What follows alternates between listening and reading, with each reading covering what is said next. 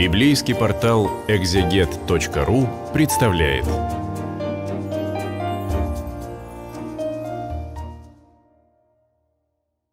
Здравствуйте. Это видео для библейского портала экзегет.ру. И мы продолжим сейчас разговор о первом послании апостола Павла к Коринфянам и обратимся к восьмой главе. По сравнению с предыдущей седьмой главой, где Павел трудно и довольно пространно говорит о э, браке и брачных отношениях и все, что вокруг этого связано, здесь он обращается к гораздо более простой теме, хотя и в этой простой теме тоже есть свои подводные камни, свои глубины. Собственно, речь идет вот о чем. В древнем мире среди мясной пищи была просто мясная пища, когда э, люди забивали скот и шли на базар торговать э, мясом.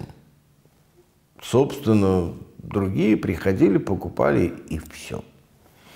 И была так называемая пища идоложертвенная, когда э, животных приносили в жертву идолам, ну и, собственно, э, как правило, жрецам, которые эту жертву приносили, доставалась какая-нибудь малая часть э, этой самой жертвы, если только это не была жертва всесожжения, но в основном, конечно, э, малая часть этой жертвы, а все остальное, кроме крови, отдавалось тому, кто приносил эту самую жертву.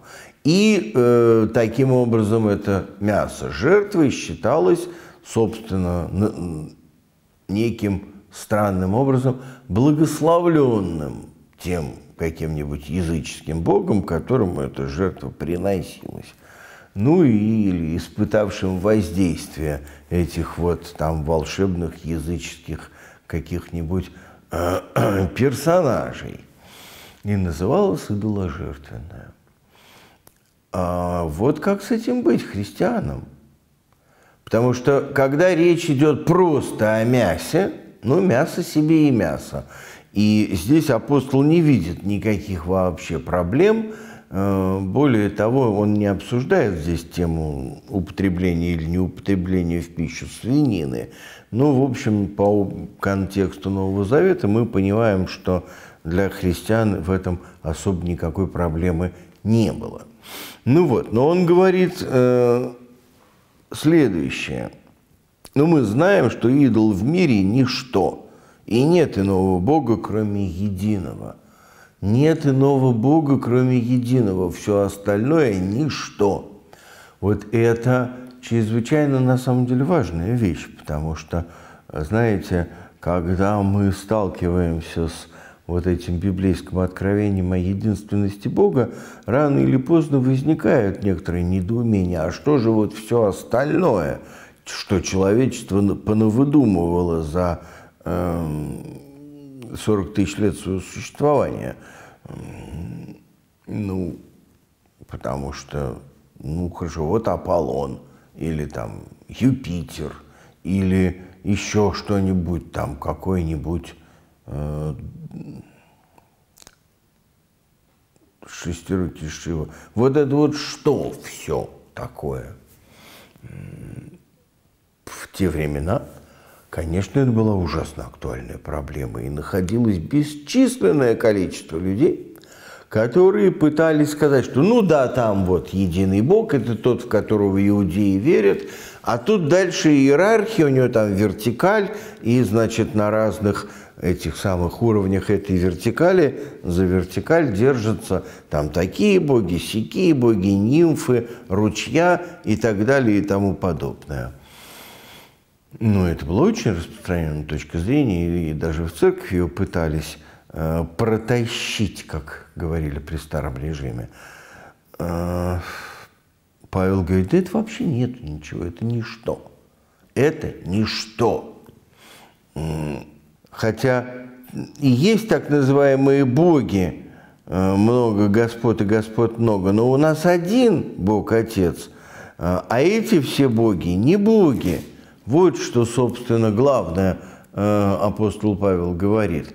Это не боги так называемые, но нет другого Бога, кроме единого. И что бы там ни было, у нас один Бог и э, один Господь Иисус Христос, которым все, и мы им. И в связи с этим апостол дальше говорит вот о чем, что это все так. Но э, не все это понимают, не у всех такое знание. Поэтому, э, если вы будете открыто есть э, идоложертвенное, то есть то, что было принесено в жертву ничему вот этим самым э, несуществующим божествам, да, то это будет э, не проблема того, что вы осквернились идоложертвенным, а проблема того, как вы отнеслись к окружающим, не стали ли вы для них источником соблазна. Вот что, собственно, хочет э, апостол Павел сказать. Потому что э, пища, ну, в конце концов, пища не приближает нас к Богу. Едим ли, ничего не приобретаем, не едим ли, ничего не теряем. Э, это вообще не имеет значения. То есть будь у Павла возможность говорить современным языком, он бы сказал, что пища является только источником калорий для организма и ничего больше. Что, собственно, действительно так. Э, поэтому едим ли ничего не приобретаем, не едим ничего не теряем. Но вот, говорит апостол, берегитесь не этого, а берегитесь, чтобы ваша свобода не, не э, послужила соблазном для немощных, для тех, кто будет э, думать, что вот ты ешь идоложертвенное, значит, наверное, признаешь этих идолов. Вот в этом случае э, не надо этого идоложертвенного есть. Э, поэтому делает вывод в самом конце главы апостол, если пища соблазняет брата моего, да я лучше вообще не буду есть мясо. Только чтобы никто не подумал, что я всерьез воспринимаю вот этих всех идолов нелепых. Да, если кто-то увидит, что ты зашел поесть и сидишь за столом в капище, ты, может быть, и знаешь, что это все ерунда и не более чем пища. Но ни в коем случае не следует соблазнить другого.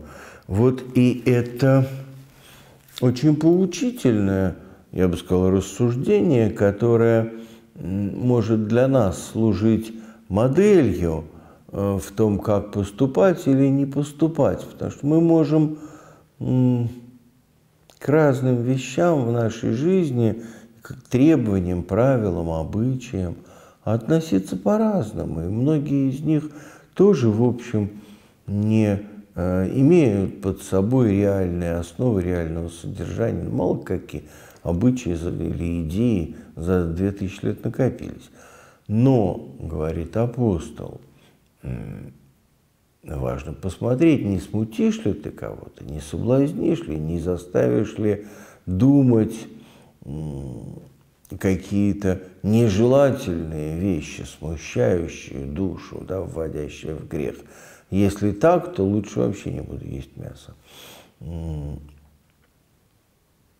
Вот э, такая, я бы сказал, очень коротко, просто и ясно сформулированная и очень поучительная вещь. Очень поучительная вещь, понимаете?